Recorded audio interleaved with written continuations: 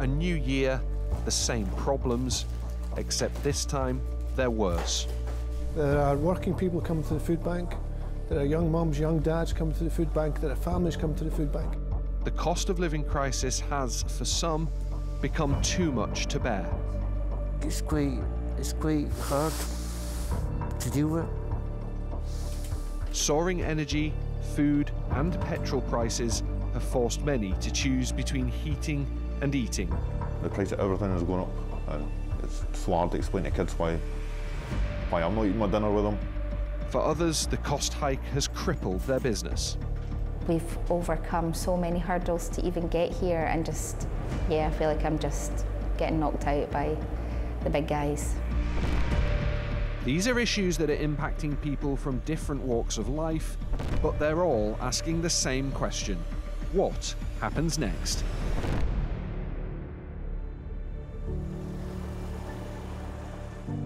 It's 9am in Kirkcaldy. The sun has barely risen and the snow is mounting. But volunteers at the local food bank have already been here for hours, preparing breakfast, lunch, and dinner parcels. We put in our parcels eggs and rolls, and we buy in fresh fruit and vegetables um, from the local suppliers. The Kirkcaldy Food Bank is one of the biggest of its kind in Scotland. So we're all checklists all done this morning. Yeah, we noticed last night we were quite low in the pasta, but um, we've gone and got some, so that we managed oh, to get that. Oh, that's low in oh, pasta. I know, that's which is incredible, isn't it? Yeah. When it opened, it was only supposed to be in operation for a few months. That was nine years ago. The charity now has five food banks and 143 volunteers, helping more than 3,000 people a month. But that number is constantly growing. It's a huge demand at the moment, and the question is about how can we change that? How can we bring improvement? How can we get that safety net that did exist, which is now quite porous, back to being there that we don't need to use food banks? Because the, we all know the, the, um, the solution is not food banks. In some areas of the town, three quarters of children live in poverty, whilst more than 20% of people find it almost impossible to pay their energy bills. We know from our work that 40% of the people who come into the food bank have children in the house. So there's 40% of children that need to be looked after. I've got that filled up today, have we? As much as we can have. Volunteers buy the majority of the food themselves, and most months that bill tops £18,000. We know there's a deficit every month in, in what comes in financially and what goes out financially. Our fear is that we might not be able to sustain it. But those who have the levers of power need to realise that if we're not going to be here, where are people going to go to? What are you going to do? What's your plan? What would it do to this community if you weren't here? I think a lot of people who are on the margins at the moment and are really struggling would be pushed to even extreme, more extremes of poverty. And I don't actually know what they would do. I think it'd be devastating, you know, really devastating, because, uh, well, they get so much more help than just food. so, and uh, there's just not enough money to go around. As food banks face an uncertain future, for many businesses, the picture isn't much clearer. Food and drink prices across Scotland are rising at their fastest rate since 1977. The latest inflation figures show costs are 16.5% higher than the year before.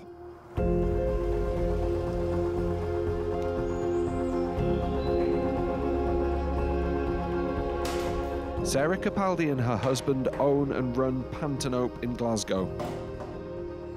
We literally put every penny when I say blood, sweat and tears, it was blood, sweat and tears into this business. Um, it financially and emotionally drained us um, to even get opened, but we managed it.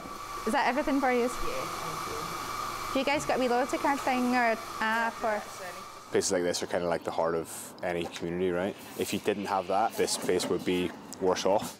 But the one-two punch of rising produce costs and increasing energy prices mean they could lose everything.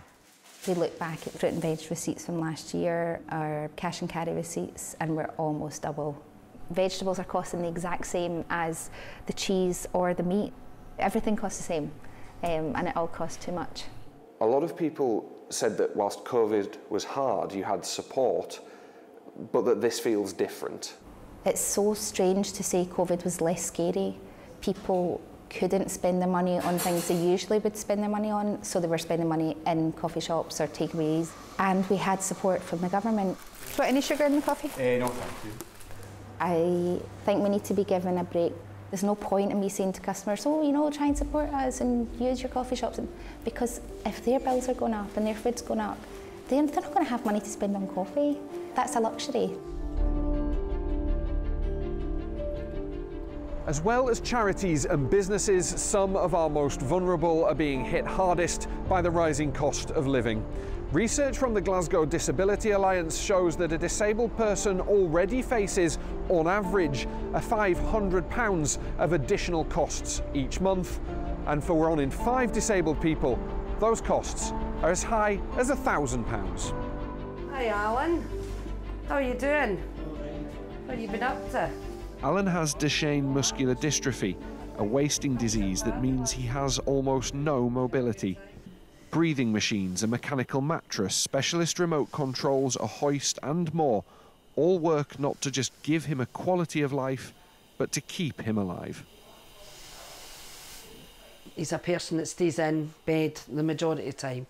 So you've got your heating on, his telly's on, his laptop's on, and with the cost of living going up and up and up, it's just where do we you know where do we go from from there? Because it is it's a lot of money to have that these sort of things on all the time. That's not a choice for him though is it? No, it's, it's not, not, it's not like no. you or I who could turn that down. No no. This that that's um it's all part of Alan's care. Does Alan get worried when he hears about the cost of things going up? He watches the news all the time so he's seeing what everybody's saying. So he's kind of oh my goodness, you know, what's going to happen to me? Am I going to be all right? From people paying extra to keep life saving equipment running to single parents struggling to put food on the table, everyone is feeling the pinch. My fuel bill's doubled, food bill's pretty much doubled as well. Next month is going to be shocking when I get my bill through for my, my gas just because I've, I've had to have it on. I d- I didn't want to have it on. I would rather just be cold myself, but because I've got the kids, it's it's a necessity. Dean has three children. He says when he can get work, he takes it, but getting by is getting harder. Yeah, always worried about where the next meal's coming from or what you're going to do with your next payment, how you're going to branch out over the next three to four weeks. And it's just, just see, it seems impossible. £50 shop three months ago was almost about 100, 150 pound now. I'm sitting down with the kids having a, a meal, cooking for everybody, rather than just cooking for them because uh, they're always like, why are you not, why you not eating? And I'll, I'll just tell them I'm having my dinner when they go to bed, you know, just so they don't feel bad that I'm not eating. In terms of the first six months of 2023, if things don't calm down, how close will that push families like yours to the brink? I think it'll happen pretty fast. I don't think it'll, even the six months, people probably won't even last that long, to be honest. Uh, I don't say families are going to going to cope. I sit down and have to tell myself sometimes there's, not, there's nothing else I can do just now. Literally nothing else I can do. The ongoing day to day reality of the cost of living is that it continues to stretch resources and test communities. For some, turning to neighbours or support services feels like the only way forward. But the question is how long can people at the sharp end of this crisis keep going. Everybody who's involved in here do it because they want to stand alongside the ones who are the most vulnerable, the most poorest in society. If only just to say that we stand beside you and that you're not forgotten about.